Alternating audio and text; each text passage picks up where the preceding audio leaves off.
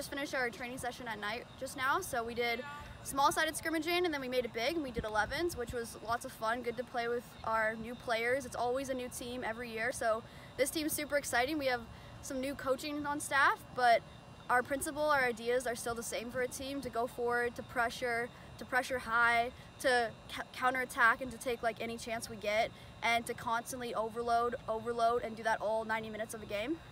Um, last year I felt like I was a newcomer on this team and I felt like I made my impact and made my like step on this team, my footprint and going forward this year I want to like be able to contribute that more to the statistical side as well as the physical side on the field. So I want to be able to get more, more assists, more goals. I wasn't happy with my numbers last year, but I, even though I felt like I was still an impact player. So this year for me, I want to be an impact player and I want to be able to take this team to an NCAA tournament and I want to be able to contribute um, statistically as well.